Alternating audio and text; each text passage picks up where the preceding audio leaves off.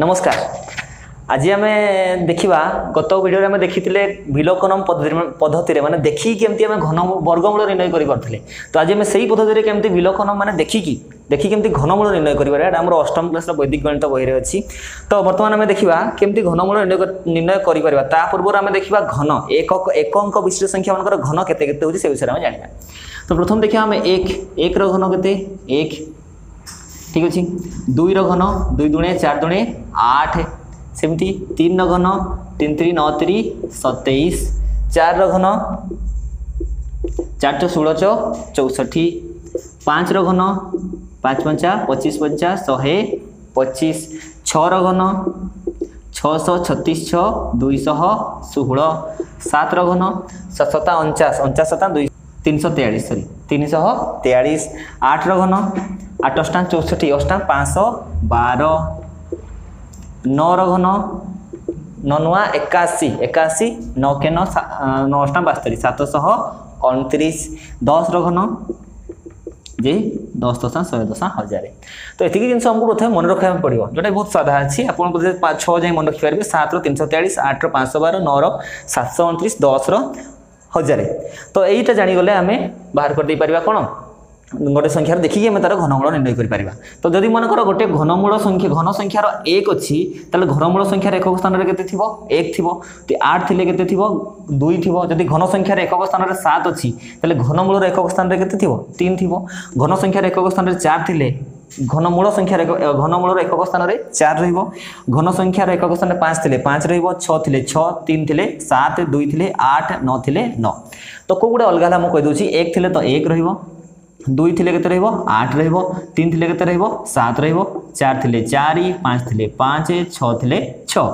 ସାତ ଥିଲେ ତିନି ଆଉ ଆଠ ଥିଲେ ଦୁଇ ନଅ ଥିଲେ ନଅ ଶୂନ ଥିଲେ ଶୂନ ତ ଅଲଗା କେଉଁଟା ଦେଖନ୍ତୁ ଆମର ଏଇ ଦୁଇଟା ଏଇ ଦୁଇଟା ପେୟାର ଆଉ ଏଇ ଦୁଇଟା ପେୟାର बाकी सब सामान रहो दुई आठ, दस, मिसले दस हो तीन सात, मिसले दस होती सात, तीन दस, आठ दुई दस। ये दुई आठ तीन सात या ही अलग अच्छे ठीक है? दुई थे आठ हम तीन थे सात हम आत थे तीन हम आठ थे दुई हम बाकी सब जहाँ थी सामान रहो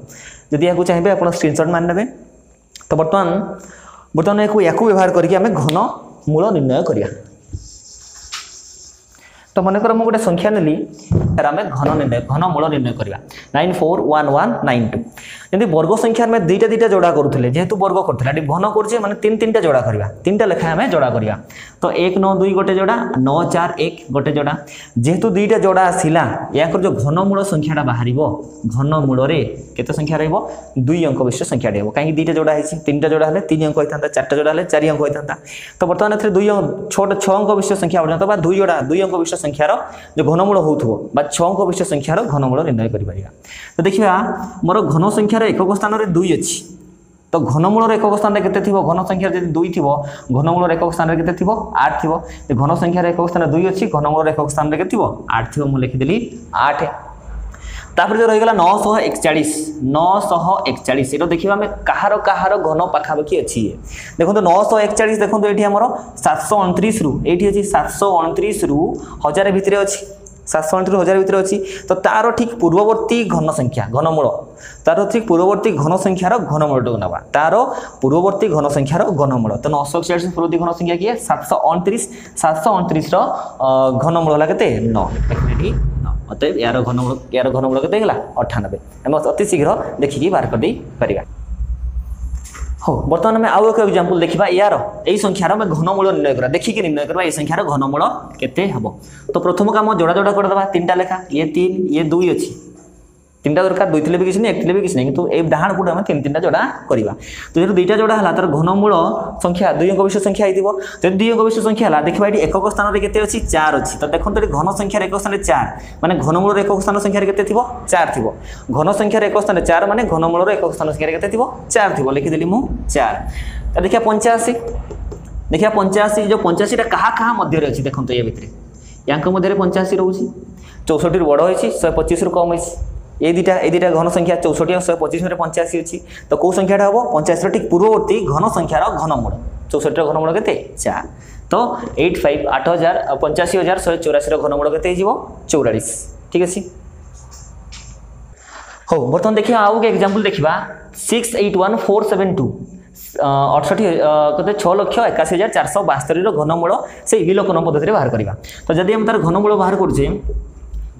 তিনটা তিনটা যোড়া করা তো ইয়ে তিন যোড়া করলি ইয়ে তিন যোড়া করলি মানে যে ঘনমূল সংখ্যা হব। দুই যোড়া হল মানে তার ঘনমূলর সংখ্যাটা কেতে হইব দুই অঙ্ক বিশিষ্ট সংখ্যা হইব যদি দুই অঙ্ক বিশিষ্ট সংখ্যা হল দেখিবা এটি একক স্থানের কেতে অছি দুই দেখুন একক স্থানের গোটা দুই এটা একক স্থানে দুই আছে মানে ঘনমূলর একক স্থানে কেতে হইব আট হইব মু লিখিদেলি কেতে আট তারপরে গলা ছশহ একাশি আমি দেখিবা ছশহ একাশি কেউ কেউ ঘন সংখ্যা মধ্যে অছি আমি জানিছে কেতে আটর পাঁচশহ বার নর বর্গ সাতশহ অণচাশ তো ইয়া মধ্যে রয়েছে আমার কেতে ইয়া মধ্যে কেতে রয়েছে আমার ছশহ একাশি পাঁচশো বার, সাতশো অনত্রিশ মধ্যে পাঁচশো বারোটা হল আটর ঘন সাতশো অনত্রিশটা হল নর ঘন তো ছশো একাশি তার পূর্ববর্তী ঘন সংখ্যা পাঁচশো বার তার ঘনমূল কেতে নেই যা আট তাহলে পূর্ণ সংখ্যাটি কেতে হয়ে গলা অঠাশি ঠিক আছে তো ধন্যবাদ, আমি জাঁপারে কিপরি বিলোকনম পদ্ধতিরে দেখেকি আমি ঘনমূল নির্ণয় করে পারা এটা বহু সাদা প্রোসেস আপনি যদি প্রাকটিস করবে মু যে দেখেই গলি আপনার যদি আপনার মনে রখিদেলে থাকে আরামসে মনে রখার আছে আমি কোটি কেবল দুইর আউ তিনর দুই থিলে আট আট লে দুই হব, সাত লে তিন হব। তার অপোজিট দুই লে আট হব, তিন লে সাত হব। দুই লে আট হব, তিন লে সাত হব। তো এতকি মনে রখিদেলে বাকি সব সমান রহব আপনার দেখিকি অতি শীঘ্র খুব শীঘ্র আপনার কালকুলেসন ন করে মধ্যে দেখিকি কইপারে বর্গমূল যদি বারম্বার প্রাকটিস করবে আপনার পক্ষে সহযোগ হয়েপার তো যদি ভিডিওটি ভালো লাগে আপনার সেয়ার করা ভুলতু না যদি আপনার এপর্যন্ত আমার চ্যানেল সবসক্রাইব করে না তাহলে আমার চ্যানেল সবসক্রাইব করে নিউ এইভাবে ভিডিও নোটিফিকেসন জলদি শীঘ্র পাইবা প্রথমে পাইবা আপনার নোটিফিকেসন বেল অছি তাকে দবাই নেবে ধন্যবাদ আপনার আশীর্বাদ রহু আমি এমতি আহরি ভিডিও আপনার চালি থাও তো ধন্যবাদ ভারত মাতা কি জয়